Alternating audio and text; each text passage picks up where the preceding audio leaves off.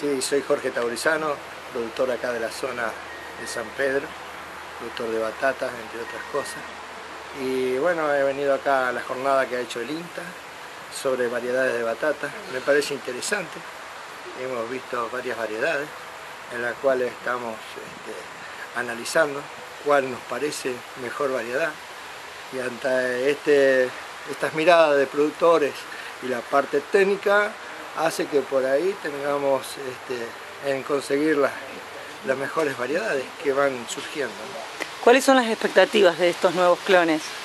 Bueno, todo este tipo de cosas no se hacen de un momento a otro, pero las expectativas son buenas. Lo que pasa es que lleva tiempo. ¿eh?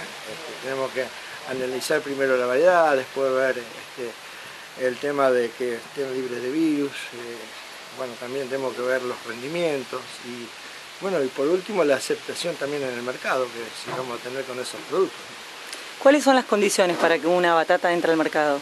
Bueno, las condiciones que, por sobre todo las cosas, a mi entender, tiene que ser una batata que sea, que sea rica para comer. ¿eh? Más, más allá de que el color por ahí este, es algo que también ayuda, este, eh, tiene que ser rica y tiene que tener un color adentro siempre tirando a amarillo o anaranjado, mejor, porque hoy el, tipo de, de comida que se hacen este, siempre van este, con comidas que tengan colores.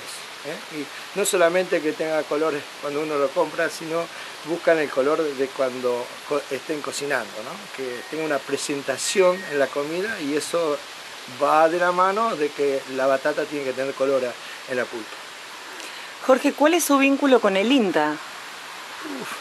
hace muchos años que, que estoy acá en el INTA, yo soy este, integrante de la cooperadora del INTA y bueno, este, siempre estoy este, en contacto con los, eh, la parte técnica, en lo cual ya, bueno, por ahí uno siempre empieza a mirar las cosas positivas eh, que, que, los va brindando el INTA y lo va integrando dentro de la, empresa que uno trabaja.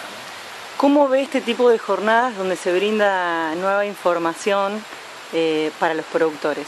Ah, buenísimo, buenísimo. No, no, me parece excelente.